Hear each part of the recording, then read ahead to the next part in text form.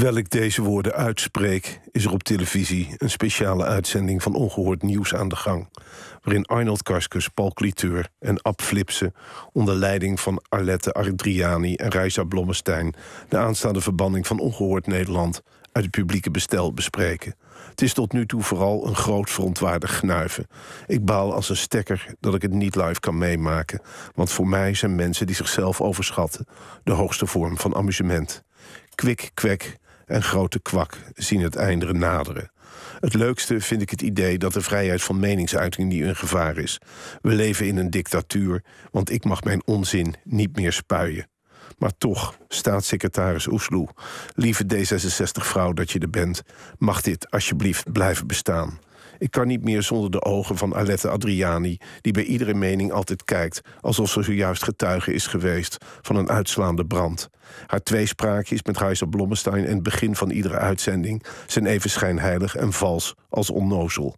Gisteren zei Arnold Karskus met die recht door zeekop op zender dat Ongehoord Nederland een stem aan de ongehoorde geeft.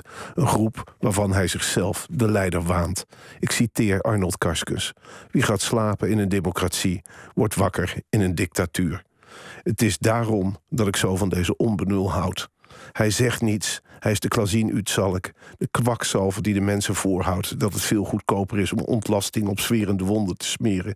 Hij kondigt al jaren burgeroorlogen aan, is xenofoob en bereid om persoonlijk hooibalen op smeulende veebranden van het ongenoegen te gooien, om dan, als de brand eindelijk uit de ramen slaat, te constateren dat alleen hij in staat is om die te blussen.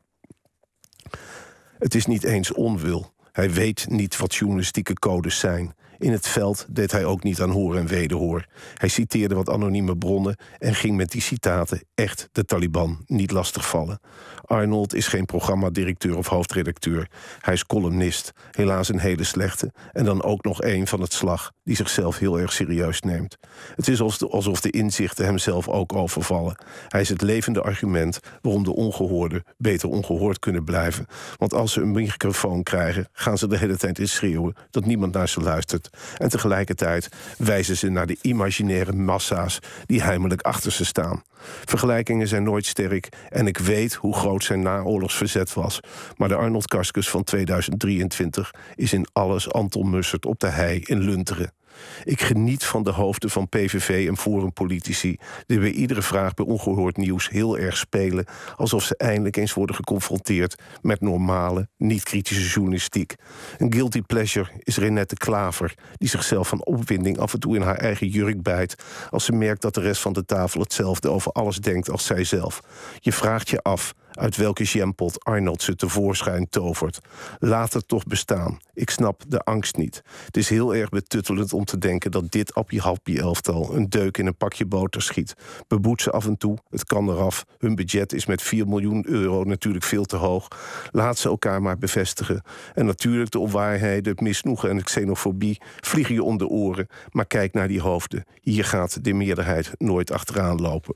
Arie Slop van de ChristenUnie was zo dom om ze zichtbaar te maken. Nog dommer is het om ze uit het bestel te gooien. Juist dan maak je ze relevant, alsof hun mening ertoe doet. Mis niks van het laatste nieuws met de NPO Radio 1-app. Download hem nu. Wie luistert, weet meer.